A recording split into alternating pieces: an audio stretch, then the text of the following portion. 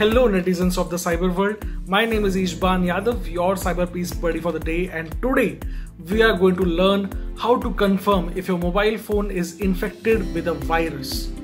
For those who are thinking, I've got an iPhone, I can't be hacked, wait and watch. Did you know last year Kaspersky detected nearly 3.5 million malicious attacks on smartphone users?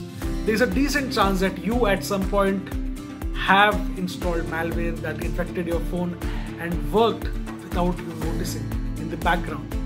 According to a global report commissioned by private company Zimperium, more than one fifth of mobile devices have encountered malware, and 4 in 10 mobiles worldwide are vulnerable to cyber attacks.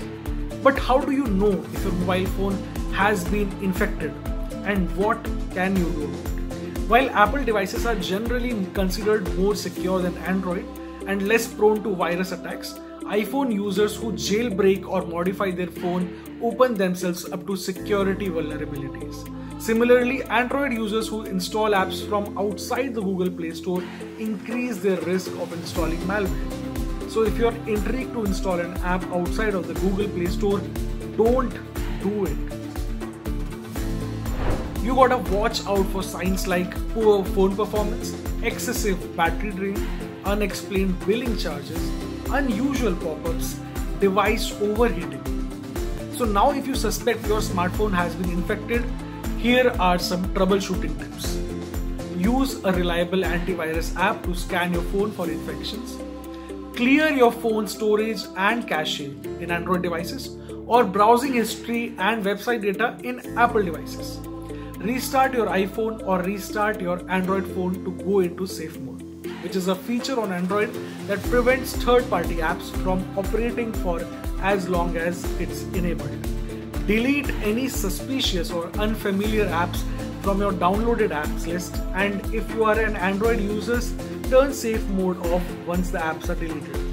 But in all seriousness, the best thing to do, however, is to try and not let your smartphone get infected. So here's how you can do it.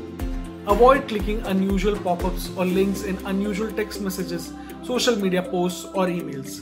Like I said before, only install apps from authorized app stores such as Google Play or Apple's App Store. Avoid jailbreaking or modifying your iPhone. Check app permissions before installing so you are aware of what the app will access rather than blindly trusting. Backup your data regularly and keep your phone software updated to the latest version, which will have the latest security patches. So that's all for today. I hope this video helps you to be more cyber secure. Don't forget to like, comment, and share this video. And if you just found us, do subscribe. This is Ishban Yadav signing off. Stay cyber safe.